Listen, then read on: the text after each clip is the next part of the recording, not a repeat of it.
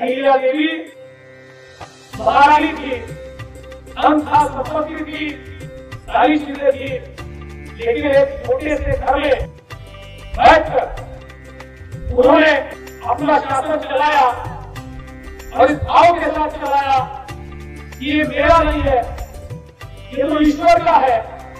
ईश्वर ने केवल मुझे इसको चलाने की ज़िम्मेदारी दी है और इसे ईश्वर का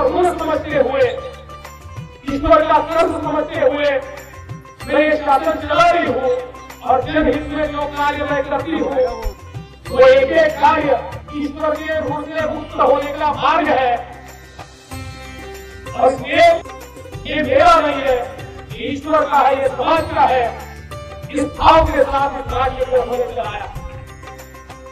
मेरे जीवन का एक महत्वपूर्ण क्षण है, जिसमें मैं राजवाड़े में जाकर और जिस गति पर बैठकर मुझे श्लोक अहिल्या देवी शासन चलाती थी उसका दर्शन ले पाया और उस नदी को नमन कर पाया।